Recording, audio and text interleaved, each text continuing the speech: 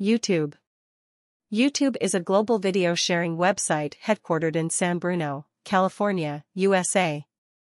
The service was launched on February 14, 2005, by three of his former PayPal employees.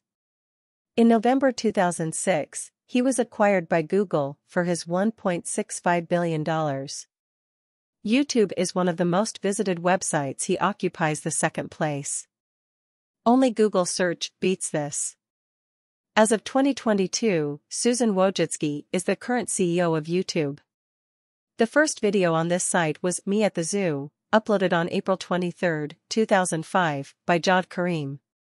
Many features have changed on YouTube since 2005.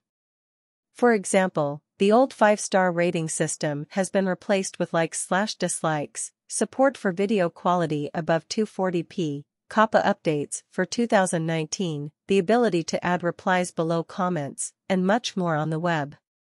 Site redesign, specifically, we've removed the old slogan Broadcast Yourself and redesigned the logo from 2017 to the present.